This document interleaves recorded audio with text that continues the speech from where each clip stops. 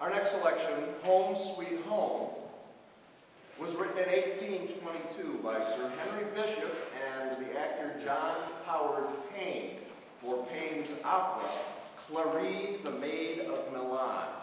While the opera has been uh, forgotten, probably deservedly so, uh, the song became a favorite of homesick soldiers on both sides of the conflict. And it was the subject of an interesting and unusual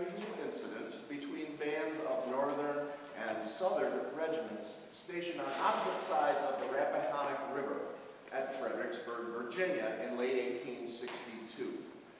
Um, from the regimental history of the 11th New Hampshire Volunteers, I quote this story from one Captain George Pingree.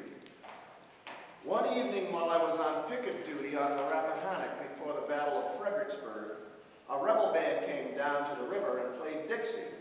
A brigade band on our side responded with John Brown's body, and the rebel band retaliated with Bonnie Blue Flag, and our band came back at them with the Star Spangled Banner. So back and forth they went.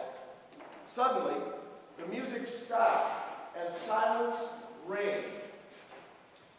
When all at once a musician on our side played splendidly on a key bugle, Home Sweet Home. The sweet sounds rose and fell on the evening air and were wafted down the Falmouth Heights and over the Rappahannock. All listened intently, and I don't believe there was a dry eye in all those assembled thousands. For a moment or two after the bugle ceased, a dead silence reigned, broken then by a wild, exultant cheer from both armies.